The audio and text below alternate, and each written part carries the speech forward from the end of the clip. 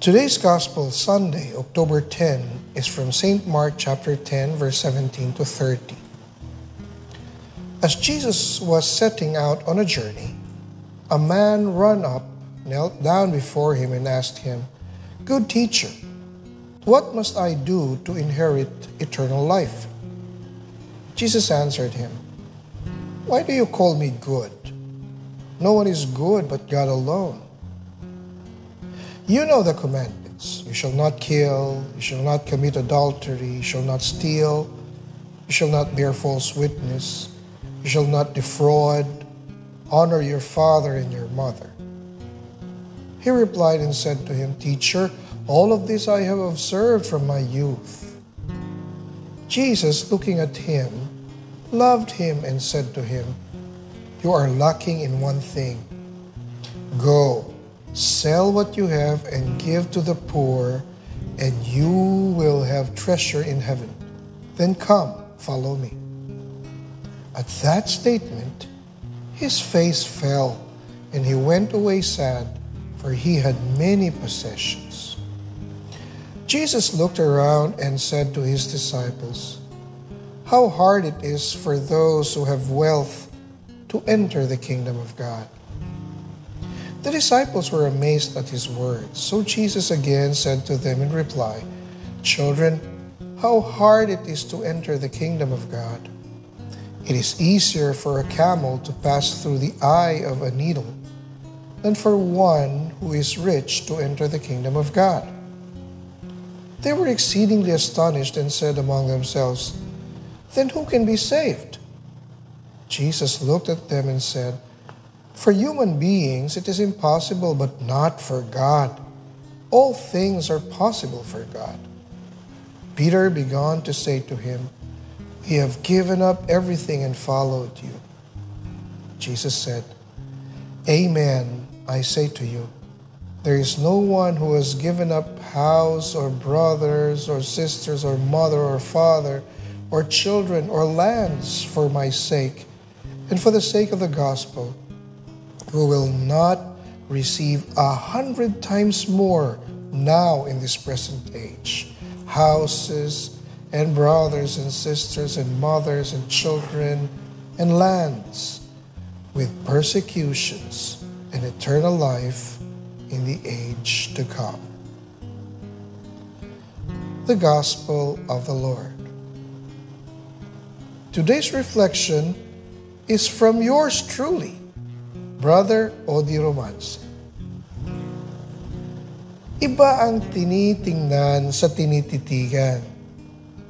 The look of Jesus towards the rich man was with love, not just appreciation. Hindi lang paghanga, kundi may malasakit na pagtingin. Jesus opened for him the gates to perfection as he wanted him to aspire for more.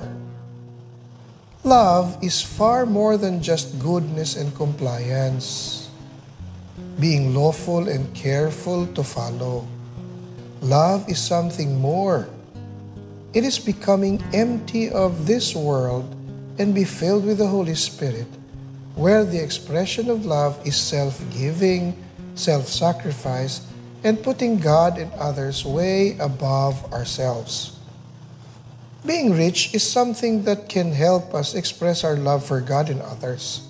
On the other hand, to be rich may also be a big impediment for us to let the will of God happen in our lives.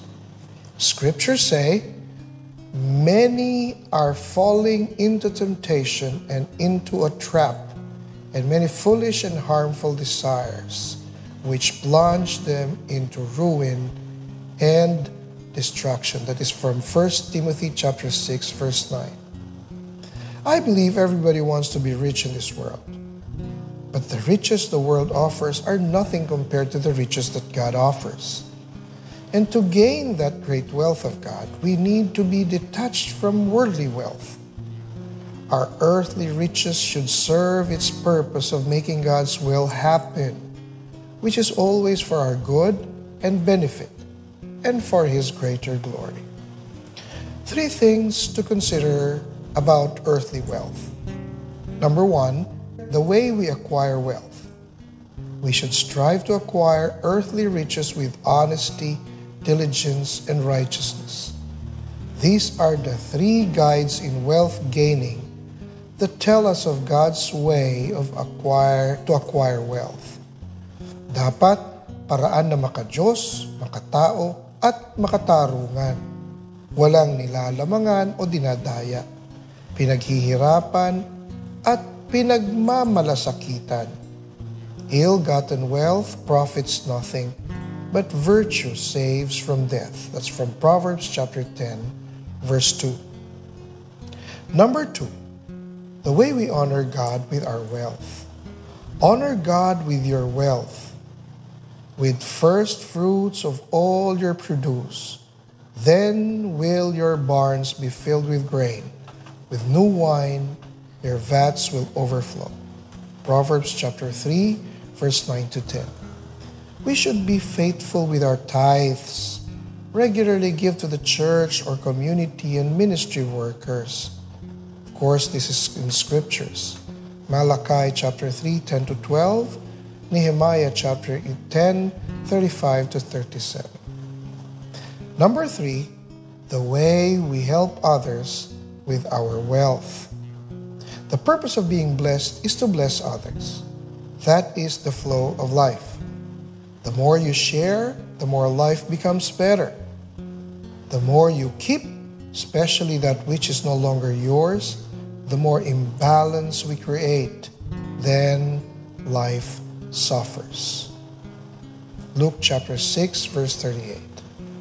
Love is the reason and the law that governs all wealth. Wealth should never be our object of love. Let us pray. Lord, teach us to love and obey you with our wealth. Amen. In the name of the Father, and of the Son, and of the Holy Spirit. Amen.